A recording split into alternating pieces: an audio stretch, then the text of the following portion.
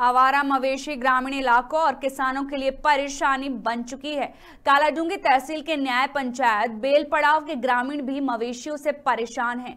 किसानों ने आरोप लगाया कि शहरों से जिन जानवरों को पकड़कर गो सदन भेजा जाना था, उन्हें गो सदन न भेजकर बीच में ही ग्रामीण इलाकों में छोड़ दिया गया, जिसके चलते ग्रामीणों की फ़सल चौपट हो गई। ग्रामीणों ने कहा कि हल्द्वानी नगर निगम जबरन इन मवेशियों को बेल पड़ाव से सटे जंगल में छोड़ रहा है। ग्रामीणों ने अपील की है कि प्रशासन इस और ध्यान दे, वरना ग्रामीण सड़क पर उतरे को बाध्य होंगे। काले डूँगी से मुकेश छिमवाल की रिपोर्ट।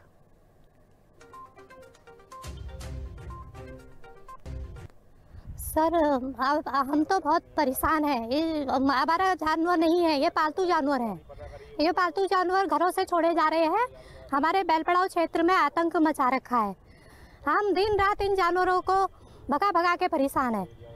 हमारे गेहूँ खा दे रहे हमारे चारा खा दे रहे हमारे बाहर सुखाई हुई फ़सल खा दे रहे देखिए मैं आपके माध्यम से एक बात कहना चाहता हूँ कि यहाँ के मतलब कि शहरों से यहाँ पे बैल और सांड छोड़े जा रहे हैं। यहाँ के जो जितने भी क्या बोलते हैं आश्रम हैं ये लोग एक कमाई का ज़रिया बन चुके हैं बना चुके हैं इस आश्रम को। और आदमी यहाँ मतलब कि शहर से यहाँ छोड़ रहे हैं उसके बाद आबादी की तरफ़ को छोड़ दे रहे हैं। जैसा कि चाहूँगा जो आवारा पशु यहाँ पे छोड़े जा रहे हैं ये हल्द्वानी नगर निगम द्वारा पकड़ के यहाँ पे छोड़े गए हैं। और जो यहाँ पे गौशालाएँ हैं यहाँ पे जो उस उसके उसमें सरकार द्वारा कोई मदद नहीं मिल पा रही है। क्योंकि उसमें ना सरकार कोई ध्यान दे रही है गौशाला की तरफ़ से जितने जो लोकल के पशु भी हैं वो भी गौशाला में हैं अभी।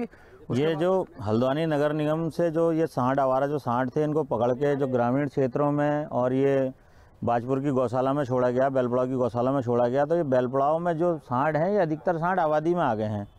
और ये जो है कि फ़सलों को भारी नुकसान पहुँचा रहे हैं। स्थिति ये हो गई है कि यहाँ अभी ये खेत है हमारा ये अभी तक बंजर पड़ा हुआ है क्योंकि आवारा पशुओं के भय से हम इसमें कुछ बो नहीं पा रहे हैं।